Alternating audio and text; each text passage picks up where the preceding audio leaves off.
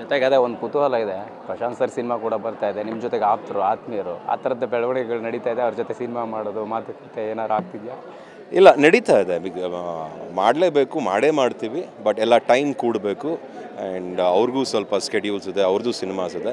ಎಲ್ಲ ಮುಗಿಸ್ಕೊಂಡು ಎಲ್ಲ ಮ್ಯಾಚ್ ಮಾಡಿಕೊಂಡು ನಾನು ಕಾಯ್ತಾ ಇದ್ದೀನಿ. ನನಗೂ ಭಾಳ ಇಷ್ಟ. ಈಗ ತಾನೇ ಹೇಳಿದ್ರು ಇಪ್ಪತ್ತೈದನೇ ಸಿನಿಮಾ ಅವ್ರ ಕೈಲೇ ಮಾಡಿಸ್ಬೇಕು ಅಂತ. ಆ ಆಸೆ ನನಗೆ ಬಹಳ ಇದೆ. ಅದಾಗಲಿ ಅಂತ ಅನ್ಕೋತೀನಿ. ಪರಾಗ್ ಬಗ್ಗೆ ಹೇಳೋದು.